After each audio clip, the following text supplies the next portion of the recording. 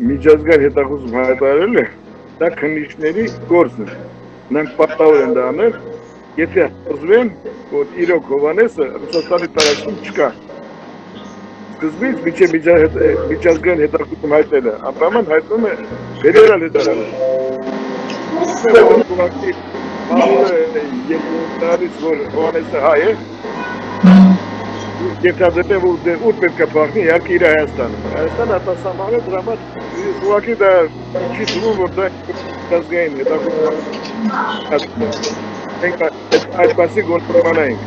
զարմացա իհարկե, որ լսեցի այս դեպքի մասին, ապշեցի, որտեղ նրանք նման դաստիարակություն չեն ստացել եւ չգիտեմ, շոկի մեջ եմ անկեղծ ասած։ Հովանեսը սովորել է մեր դպրոցում, բացարձակ գերազանց եղել է մինչև 4-րդ դասարան։ Դաստիարակությունը բարձր մակարդակի վրա է եղել, շատ նվիրված է եղել եւ դպրոցին, եւ ընկերներին, եւ դասարանին շատ հարգանքով, ուսուցիչների նկատմամբ մեծ հարգանք են